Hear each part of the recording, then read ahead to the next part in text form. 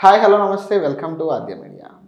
Leo cinema release అవ్వడం జరిగింది. నిజంగా విజయ్ తలపతి అభిమానులు చాలామంది వెయిట్ చేస్తున్న సినిమా ఇది. అందులోనూ Lokesh Kanagaraj directional directorial mark చూపించాడని చెప్పేసి చెప్పడం జరుగుతుంది. ఉదయం నుంచి చాలా రివ్యూస్ అయితే బయటికి రావడం జరిగింది. ఇప్పుడు ప్రస్తుతానికి ఆ సినిమా ఎలా ఉంది అన్నీ కూడా తెలుసుకునే ప్రయత్నం చేద్దాం. ప్రస్తుతం మనతో పాటు రాహుల్ అయ్యర్ గారు ఉన్నారు. ఆయనతో మాట్లాడి ఇది సినిమా ఎట్లా ఎంతవరకు వర్కౌట్ అయింది తెలుగు ఆడియన్స్కి కనెక్ట్ అయిందా లేదా మెయిన్లీ ఇవన్నీ కూడా తెలుసుకుందాం. నమస్తే అండి. నమస్కారం అండి. సార్ అంటే ఏంటంటే లియో సినిమా ఎట్లా ఉందంటారు? అంటే ఒక్క మాటలో చెప్పాలండి cinema it's blockbuster for Vijay Thalapathy అండి. ఆయన సిక్స్టీ సెవెంత్ మూవీ ఎప్పుడైతే అనౌన్స్ చేశారో వెంటనే వారసుడు తర్వాతనే అనౌన్స్ చేసేసారు ఆయన sixty seven and that is mark of LCU Lokesh cine uni cinematic universe LCU mark అన్నమాట.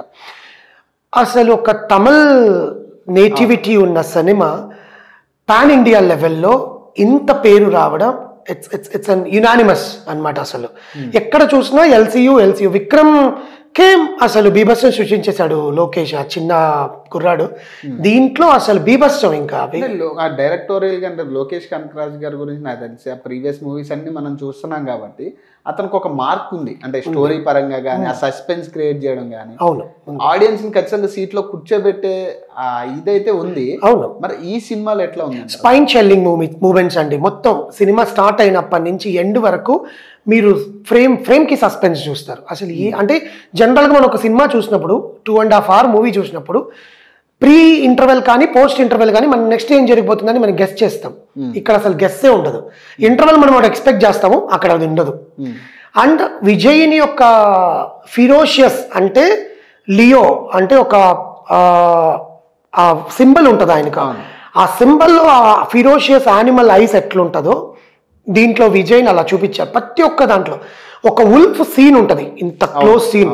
Fifteen thousand VFX people work చేసి చేసిన సీన్ అన్నమాట అది యాక్చువల్గా దాంట్లో దాన్ని చూడాలా విజయ్ని చూడాలా?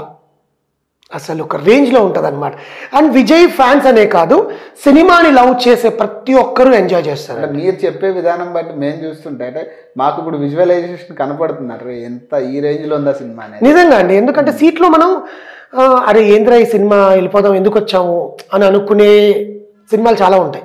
ప్రతి ఒక్క సీన్స్ పైన చెల్లింగ్ అనమాట అసలు దానికి తోడు అనిరుద్ బ్యాక్గ్రౌండ్ స్కోర్ అసలు ఒక ఇంగ్లీష్ బ్రిటిష్ కైండ్ ఆఫ్ ఒక మ్యూజిక్ ఉంటుందండి.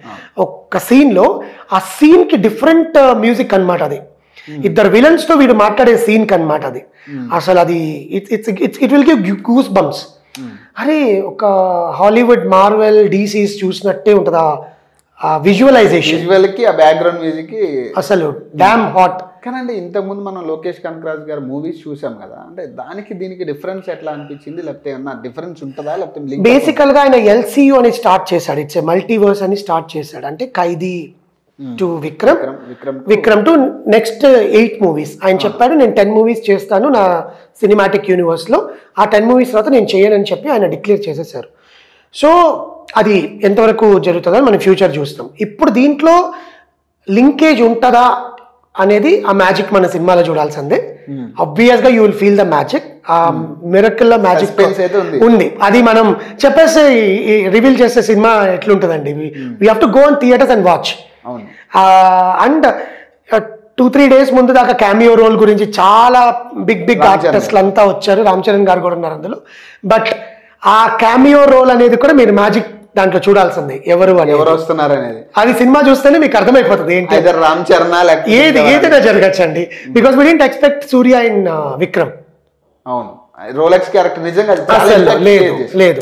దీంట్లో కోబ్రా అని ఒక ఉన్నారు. కోబ్రా అని పెట్టాడు. ఆ కోబ్రా ఎవరు?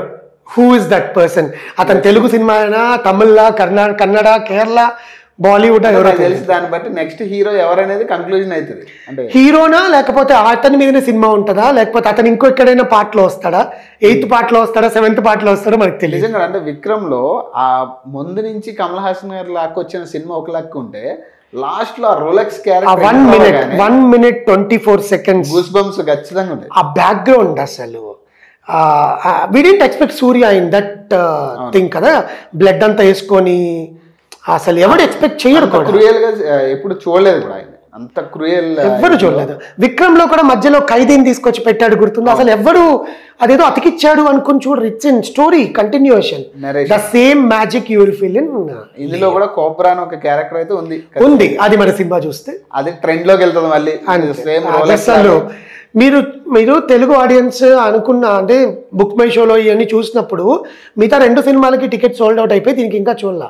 ఇప్పుడు నేను షో చూసి వచ్చాక చూస్తుంటే బుక్ మై షోలో అన్ని బుక్ అయిపోయినాయి. No no show is there so ఖచ్చితంగా ఏదో మ్యాజిక్ ఉంది. మ్యాజిక్ ఉంది. మీరు చూస్తారు మ్యాజిక్ మీరు చూడాలి. అంటే తెలుగు ఆడియన్స్ నిజంగా అంటే ఇప్పుడు తెలుగు ప్రొడక్షన్ హౌస్లో ఇది రెండో సినిమా అయింది. తెలిసి. నాగవంశీ గారు. ప్రొడక్షన్ అంటే ఎట్లా అనిపించింది? అంటే ప్రొడక్షన్ వాల్యూస్ ఎట్లా ఉన్నాయండి? ప్రొడక్షన్ వాల్యూస్ విజువలైజేషన్స్ కానీ మనోజ్ పరహంస మన ఫిలిపిన్ రాజ్ ఎడిటింగ్ అండ్ అనిరుద్ధ్ ఎక్కడ వాళ్ళు ఒక రూపాయి తక్కువ పెట్టి మనం ఏదో వదిలేయాలి అన్నట్టు కాంప్రమైజ్ లేనే లేదు. అండ్ ఈ సినిమాలో ఏంటంటే అన్ని రియలిస్టిక్ లొకేషన్స్ ఎక్కడ సెట్ లేదు.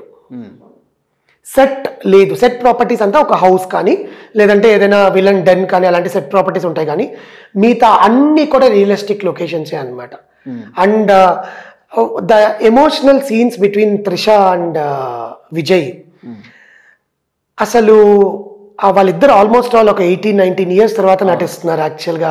దే ఆర్ దే పెయిర్ ఆ పెయిర్ కోసం చూసే వాళ్ళు చాలా మంది ఉన్నారు తెలుసా అండి మీకు?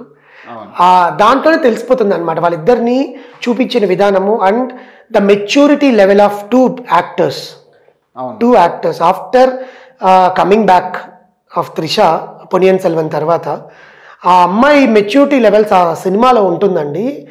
క్యారెక్టరైజేషన్ ఎట్లా ఉందండి అంటే లియోలో ఆ అమ్మాయిదా? She has a full length character అంటే సినిమా మొత్తం ట్రావెల్ చేస్తానే ఏం లేదు but she has a character which leads Vijay to అన్నమాట. నేను చెప్పేస్తే మీకు స్టోరీ కనెక్ట్ అయిపోతుంది యాక్చువల్గా డిఎల్ రోల్ ఎక్స్పెక్ట్ చేయొచ్చు అదొకటి.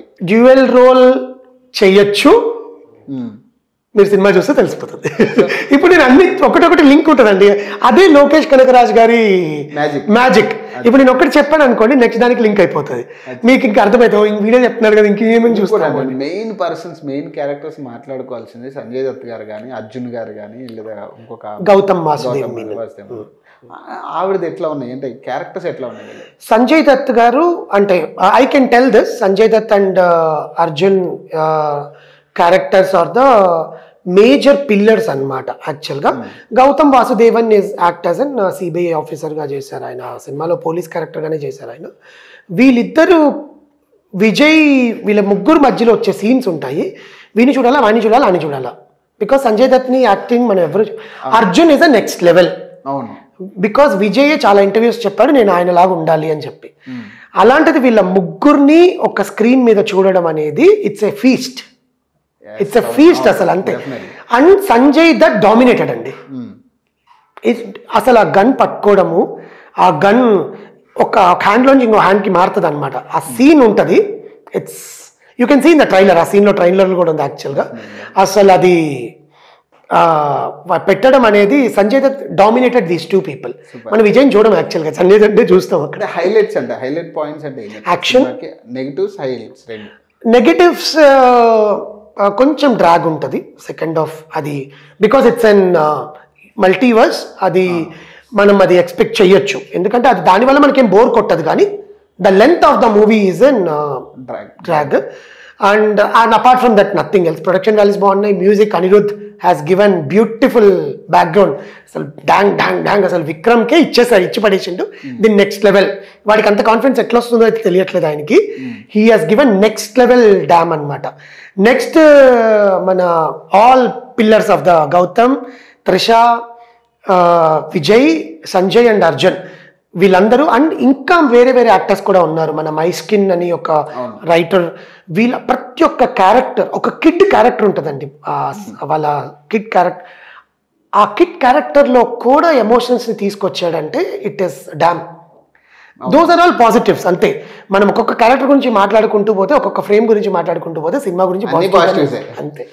బికాస్ ఇట్స్ అన్ ఎల్సీయూ అంటే ఈ దసరాకి ఖచ్చితంగా మూడు సినిమాలు పెద్ద మూవీస్ అయితే మూడు. టైగర్ నాగేశ్వరరావు కానీ లేదంటే భగవత్ కేసరి బాలకృష్ణ గారి గారిది లియో ఈ మూడు పోటా పోటీ ఉన్నాయి కదా మూడు ఎవరికి? ఎవరికి అంటే దసరా ఇప్పుడు మనం ఎట్లా చూస్తామంటే దుర్గాష్టమి మహానవమి విజయదశమి అంటాం. మూడు పండుగలు మనకి ఇంపార్టెంటే. సో మూడు సినిమాలు చూస్తారు. మూడు సినిమాలు హిట్ అవుతాయి. Super thank you thank you thank you so much so మరొక ఎపిసోడ్లో మళ్ళీ వెళ్తాం అప్పటి వరకు నేను సైనింగ్